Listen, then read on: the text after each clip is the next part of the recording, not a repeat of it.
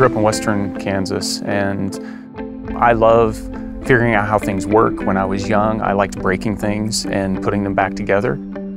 My entry into aviation started as a flight test engineer. Uh, I was an engineer working in a laboratory designing satellite systems and uh, was accepted into the Air Force Test Pilot School. But I think that the amazing experience was just the breadth of airframes that I was able to explore and, and to test out. Everything from the most complicated fighters that we have out there to home-built aircraft. And that diversity of exposure really scratched my engineering itch to really get an understanding of what aviation is about.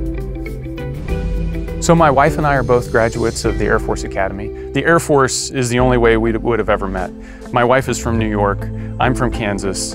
Our paths would have never crossed, so we owe everything to the Air Force and the Air Force Academy for bringing us together. We're both in service. Uh, we're both committed to serving our country, uh, but more importantly, I think it's committed to serving something larger than ourselves. It's all about teamwork.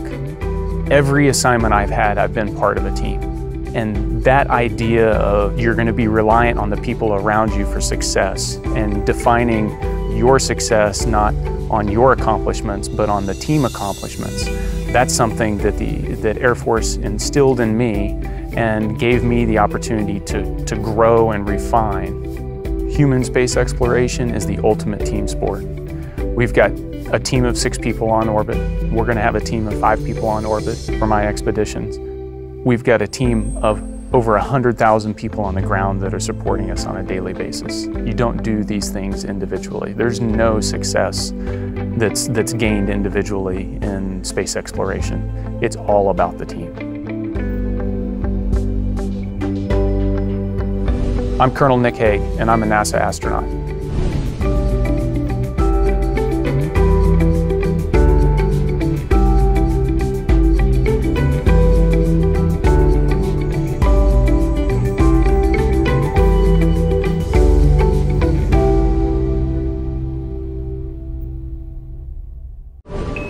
Subscribe for more space.